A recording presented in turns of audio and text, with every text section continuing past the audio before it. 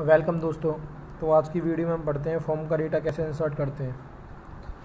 तो मैंने एक छोटा सा फॉर्म बना रखा है। ये।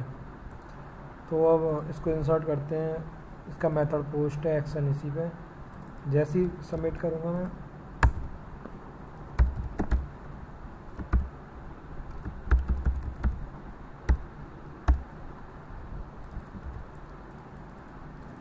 आपको नॉर्मल फॉर्म वगैरह मैंने समझा रखा है पीडीओ भी समझा रखा है। तो अगर कोई परेशानी तो वहाँ जाके देख लो, यहाँ मैं बस केवल उप्स के कंसेप्ट बताने वाला हूँ। तो फॉर्म पे ज़्यादा मैं ध्यान नहीं दे रहा।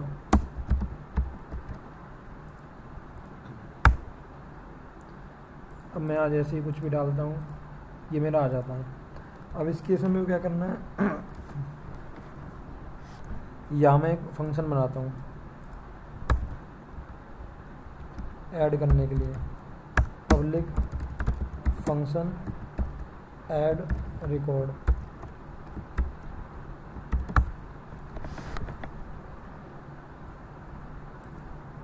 यहाँ से डेटा पैरामीटर मैंने पास कर लिया।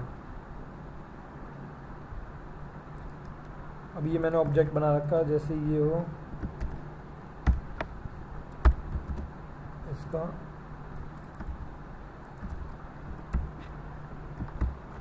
इसके अंदर मैं पास कर दूँगा पोस्ट मतलब फॉर्म का सारा डेटा जो कि पोस्ट के अंदर आता है हमेशा। यहाँ ये, अब मैं इसको चेक करा लेता हूँ, यहाँ पे इको डाई करके किस फ़ंक्शन तक वो एंटर हुआ या नहीं हुआ।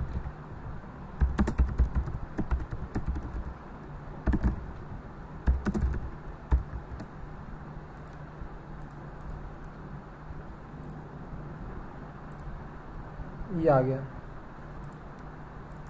अब मैं यहाँ पे क्या करता हूँ? कनेक्शन ये मेरा इसके अंदर कनेक्शन है। तो यहाँ मैं इसको ले लेता हूँ।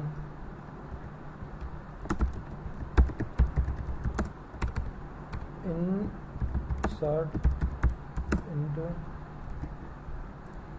यूज़र्स में चला देता हूँ। सेट नेम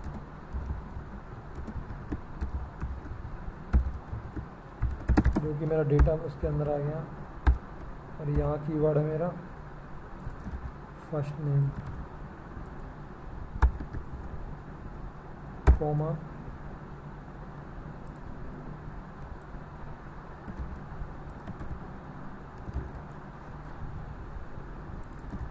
ईमेल यहाँ की कीवर्ड है मेरा ईमेल उसके बाद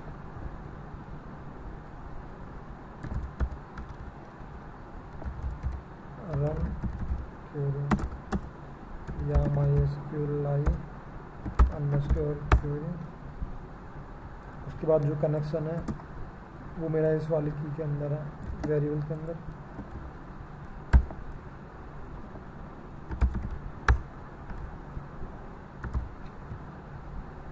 क्या हो रहा है? ये हो गया. अब यहाँ एक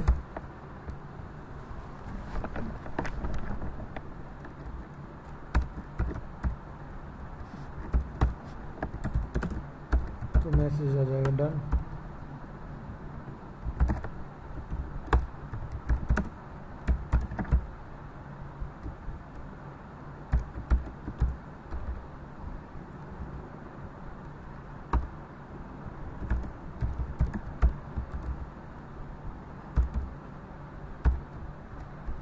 तो मैं रन करता हूँ इसको। Done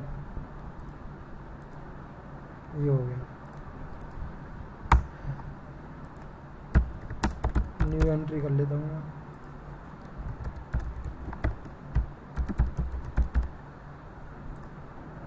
done